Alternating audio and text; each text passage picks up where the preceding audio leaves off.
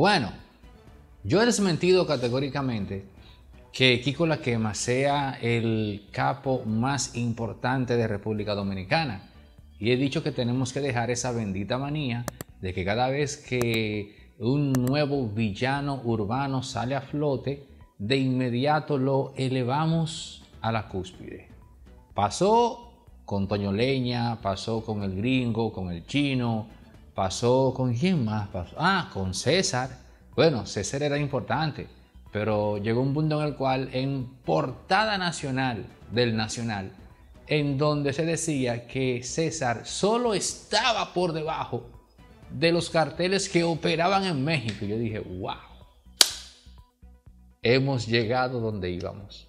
Pero miren, Ricardo Nieves dio unos datos que yo no puedo creer.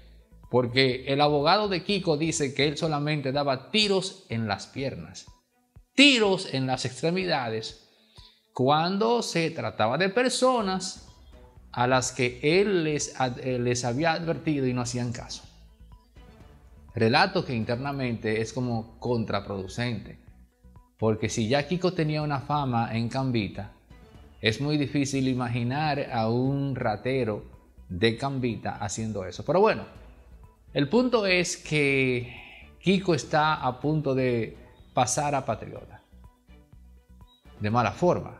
Porque Nieves dice que lo último que hizo él antes de, de que volviese al ojo del huracán fue que le cercenó las manos a un vecino.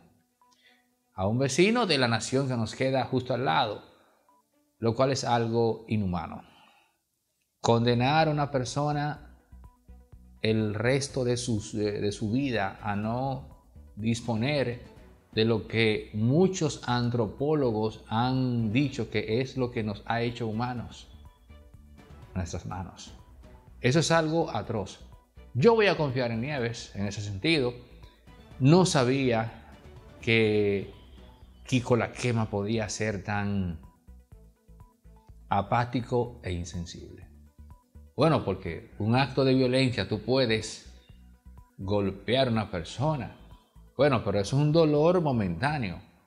Pero algo tan atroz y definitivo como condenar una persona a despertar día tras día sabiendo que no tiene manos, eso es algo, eso es un crimen. Eso es un crimen. Ahora bien, Kiko la quema ha tratado de entregarse a las autoridades. Y dice John Berry que le han rechazado la petición. Dice John Berry que habló con el jefe de la policía, el general Ramón Antonio Guzmán Peralta, y que éste no le ha devuelto la llamada. Que le escribió al presidente y que lo dejó invisto. Bueno, de ser así entonces, es evidente que la intención con Kiko la quema es otra es prenderlo para que calle para siempre. Y aquí hay algo peligroso. Porque el presidente no se puede prestar a picharle el juego a los elementos dentro de la cadena de mando de la Policía Nacional que están comprometidos con elementos como Kiko La. Ojo con eso. Puede ser que ciertamente Kiko La Quema esté metido en política y que esté apoyando candidatos a la oposición, en concreto de la fuerza del pueblo, que están marcando bien en las encuestas. Y que el presidente, queriendo impedir que tanto el PLD como la fuerza del pueblo hagan uso de la estrategia aquella de recurrir a elementos del bajo mundo para financiar campañas, quiera entonces poner un ejemplo con Kiko la, la quema y enviar un mensaje a todos los demás diciéndoles, no se atrevan, no se metan en política, hijos míos, sigan en lo suyo tranquilo, sigan en lo suyo tranquilo. Miren ustedes lo que le pasó a Kiko la quema por estar traspasando fronteras, por estar rompiendo códigos. Eso es plausible y puede coexistir perfectamente con el hecho de que un grupo de coroneles o generales aquí con la quema le quieran quitar la plaza de Cambita que con tanto ahínco y esmero él ha trabajado en los últimos 15 años. Ambas son posibles. Así que dejemos de ver esto como que las autoridades están detrás de un antisocial. No, aquí hay un componente político y hay un componente económico. El económico es la plaza. El político puede ser que se haya detectado que Kiko la quema por H o por Y haya decidido eh, subvencionar a unos cuantos amigos de él, en especial gente de la fuerza del pueblo. Farmacia Medicar GBC está abierta de lunes a domingo, sigue en pie con su descuento de un 20% y también tiene su app que pueden descargar eh, los amantes de Android y la gente también de Apple. Farmacia Medicar GBC, la de nosotros los dominicanos. Witraton es una marca alemana de equipos de audio que llega al mercado local de la mano de Héctor Popa. Estamos hablando de lo mejor y la más alta fidelidad en equipo de audios para eventos multitudinarios, em, para salones de actos, para discotecas, en fin, allí donde se requiera pues difundir eh, sonido con presencia y cuerpo pero sobre todo con calidad y nitidez, para que esas cualidades no se pierdan en la distancia.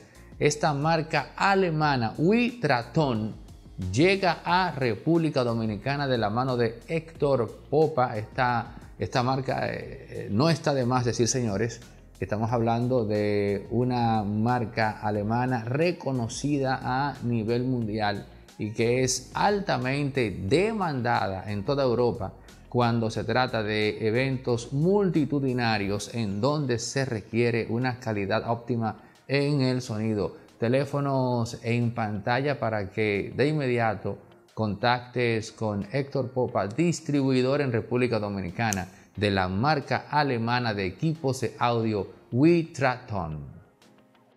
Mi nombre es Secundino Paulino Rosario, residente de Jima Bajo. Tengo 46 años yo me dedico a pintar casa, soy voluntario de los bomberos y voluntario de la Defensa Civil 24-7.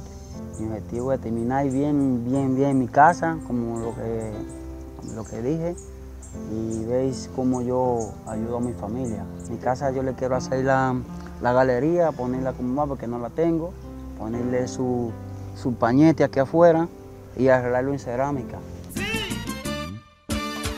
yo me enteré por un amigo que lo jugaba.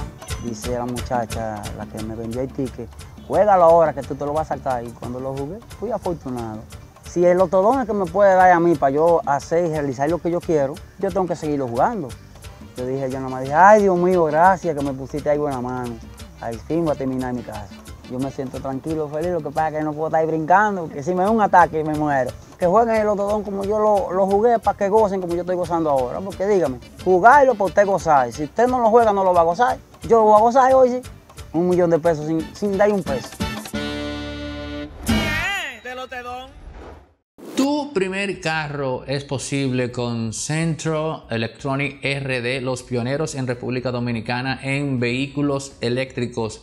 Desastre de el consumo en combustible fósil y lleva, oigan esto que voy a decir, un consumo promedio de 10 o 15 mil pesos, te puede quedar en un mes entre 500 y 1000 pesos si tu vehículo es eléctrico. Pero también Centro Electronic RD tiene, eh, tiene una flotilla vasta, extensa de vehículos para fines corporativos y empresariales. Centro Electronic RD, tu primer vehículo eléctrico totalmente para que la factura del combustible no sea una carga. Y para las empresas, tenemos camiones, tenemos vehículos tipo deliveries, camionetas, en fin, para que también el costo en combustible en grado amplio no sea una carga. Centro Electronic RD, teléfonos en pantalla para más información. Si vas de parte de Impolíticamente Correcto, tienes un descuento de 500 dólares en cada compra. Atención a todos los profesionales, emprendedores y empresas medianas y pequeñas que quieren tener su contenido de calidad circulando por las redes sociales, dando a conocer sus servicios. En Resorte Media hemos habilitado una unidad audiovisual especializada en la producción de contenido corporativo, empresarial y para todo aquel emprendedor que quiere acogerse a aquello de que dice que una imagen vale más que mil palabras en efecto, podrás tener las mejores imágenes, la mejor calidad al precio más competitivo del mercado para dar a conocer tu servicio a todos acá en República Dominicana. E incluso si tu empresa capta clientes en el extranjero, también podrás contar con eso. Contáctanos, escríbenos al 829-741-361 para que arranques desde ya a colgar contenido en tus redes sociales con la mejor calidad audiovisual posible, la que Resorte Media pone a tu disposición con el presupuesto más eh, asequible del mercado.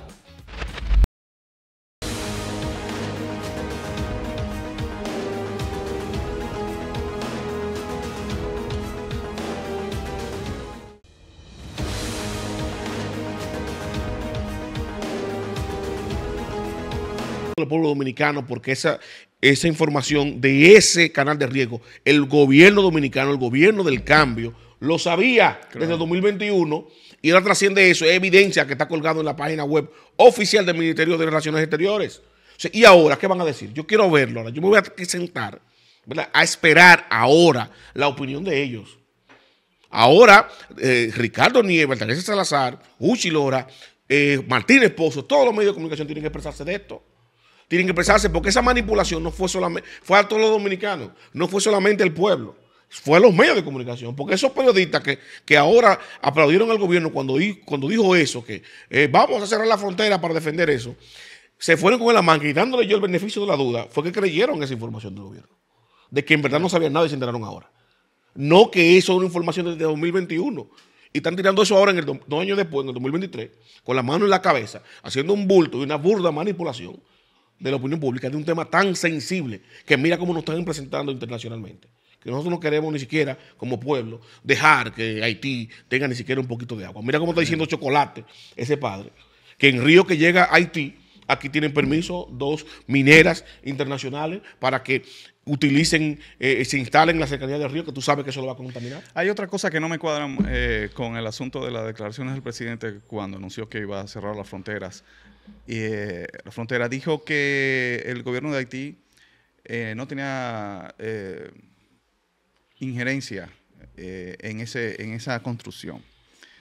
Pero vimos un video que se hizo viral en las redes donde hay gente uniformada con el uniforme de la Guardia de, Haití y otros con uniformes especiales, que uno piensa que, bueno, y esto eh, parece algo del Estado, ¿no? Sí, no, y eso suma la propia nota de prensa. O sea, si Cado Joseph dice que eso se debatió en, la, en, la comisión binacional, estamos hablando de diplomacia, eso es de gobierno a gobierno. eso es Estado. O sea que es falso de que no, es, o sea, es falso de que el gobierno puede, del gobierno haitiano ahora, o, no solamente falso, sino que sería una irresponsabilidad y una falacia del gobierno haitiano también decir que no tiene cómo detener eso. No, porque, si lo habló aquí en la, eh, eh, en la Comisión Binacional, es una decisión de Estado. Sí, y una construcción de Estado además, porque eh, el gobierno haitiano le acaba de decir al presidente Luis Abinader, en boca de Luis Abinader, ¿no? porque que eso es una construcción privada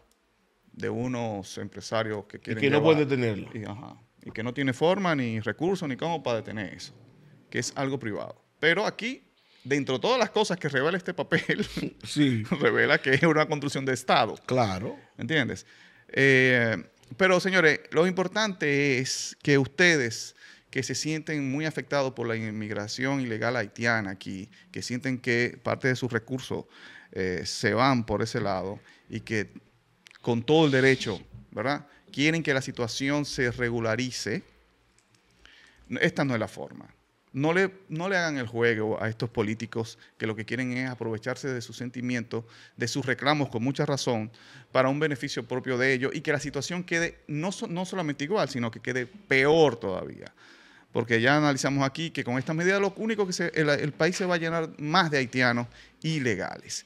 La solución está, señores, en ver quiénes son controlar la corrupción de la frontera, los guardias que cogen, que cogen dinero, los empresarios eh, que exportan, que, importan eh, ilegales eh, para acá, para el país. Todo eso, y todo eso, señores, los funcionarios que, venden visa, y todo eso es responsabilidad de las autoridades. Mira, mira y, tienen la forma de detener. Para agregar otro, otro, otro, otro detalle aquí, mire un tuit, fechado, lo vamos a poner en el video que sale aquí, fechado del 28 del mes 5 de 2021, a las 4 y 21 de la tarde.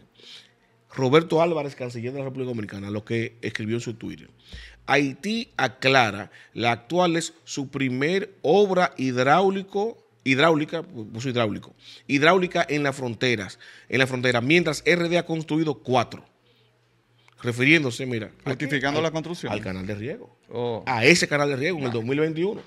Una noticia que salió inclusive, él, aquí puso como referencia el, acceso directo al artículo que salió en el periódico eldía.com.do. Bueno, señores, nosotros somos La Quinta Pata, Mario Herrera, José Maracayo. Suscríbete, comparte y comenta.